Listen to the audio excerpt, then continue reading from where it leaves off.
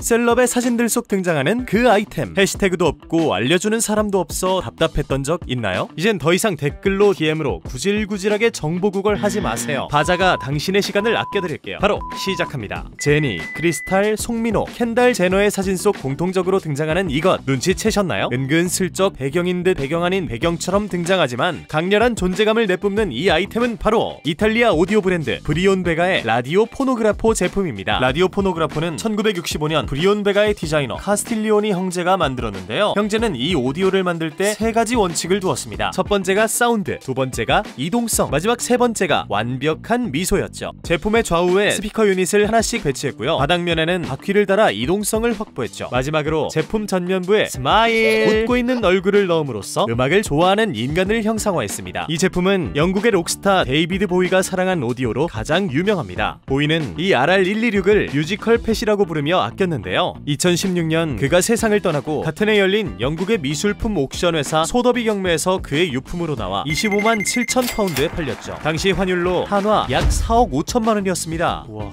대박인데? 사실 이 오디오가 억대에 팔렸다고 해서 그렇게 막 소름 끼칠 정도의 스펙을 가진 제품은 아닙니다. 턴테이블과 라디오, 스피커가 하나의 몸체에 들어있는 일종의 올인원 오디오일 뿐이죠. 오히려 백만장자 rock star가 쓰기에는 소박하다고나 할까요? 그러나 무려 4억 5천만 원에 팔린 것은 데이비드 보위가 단순한 rock star가 아니라 패션, 미술, 영화 등 광범위한 분야에서 전 세계적으로 영향을 끼친 인물이기 때문일 겁니다. 동시에 그는 예술을 사랑한 남다른 안목의 수집가이기도 했죠. 그런 그가 애장한 제품이기 때문에 그 가치를 인정받은 것이겠죠. 자, 이쯤 되면 라디오 포노그래프의 실물이 궁금하지 않으신가요? 바쁘고 귀찮은 여러분들을 위해 바자가 직접 오디오 편집숍 에디토리에 방문했습니다. 성수에 위치한 이곳은 오디오, 가구, 조명 등 음악을 중심으로 하는 휴레이션 편집숍인데요. 이곳에서 브리온 베가를 만날 수 있었습니다. 짜잔! 라디오 포노그라포 RR226 제품입니다. 제품명이 다른 이유는 디자이너 아킬레 카스틸리오니의 탄생 100주년을 기념하기 위해 재출시가 됐기 때문인데요. 블루투스 기능이 추가되고 부품이 좀 더 좋아진 것 외에 디자인은 똑같습니다. 마치 타임머신을 타고 1965년도로 돌아간 것처럼요. white, orange, red, walnut 총 4가지 컬러가 있고요. 가격은 색상마다 다릅니다. 성수 에디토리 기준으로 가장 저렴한 white는 1390만원, 가장 고가의 walnut은 1790만원이네요. wow, 엄청난 가격이죠? 무게는 약 40kg이고요. 바퀴가 달려있기 때문에 이렇게 이동을 할 수도 있고 양쪽의 스피커 유닛을 분리해 마음대로 배치할 수도 있습니다. 스피커를 모두 쌓아 올린 것도 귀엽네요. 더 사람 같기도 하고요.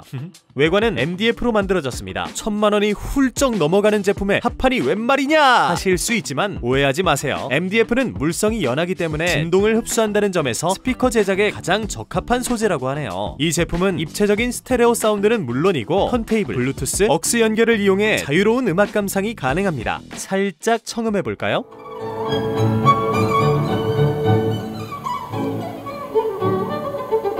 이렇게나 매력적인 오디오지만 가장 큰 단점은 단연 사악해도 너무 사악한 가격이겠죠? 하지만 실망은 이릅니다. 가격 부담을 확 줄여주는 브리온 베가의 다른 제품도 소개해드릴게요. 무전기를 연상시키는 이 제품은 라디오 그라타치엘로입니다. 사실 무전기가 아니라 고층 건물을 모티브 삼아 만들어진 건데요. 마르코 자누소와 리처드 사퍼 콤비의 1965년작 RR127에서 오리지널 디자인을 90% 이상 유지하고 블루투스 등 현대적인 기능을 더해서 재출시된 제품입니다. 빈티지하면서도 유니크한 디자인이 매 매력적이죠? 이 앙증맞은 제품은 라디오 큐보입니다. 이 제품 또한 사퍼와 자누소 콤비의 대표작이라고 할 수 있는데요. 둥글둥글한 육면체가 연결된 구조로 원하는 각도로 열고 닫을 수 있어서 다양하게 연출할 수 있겠네요. 마지막 제품 Wearit이라는 제품입니다. 로돌포 보네토가 1963년 출시한 제품인데요. 2015년 영국의 디자이너 마이클 영이 새롭게 재탄생시켰습니다. 이 제품의 가장 큰 매력은 이 레더 소재의 파우치라 할 수 있습니다. 스트랩이 함께 있어 백처럼 메고 다니며 패션 아이템으로 연출할 수 있죠. 이걸 맨 채로 다니면 걸어다니는 스피커가 되는 거겠죠?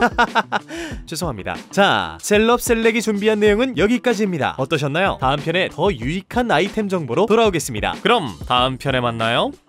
참, 좋아요와 구독 버튼 눌러 주실 거죠?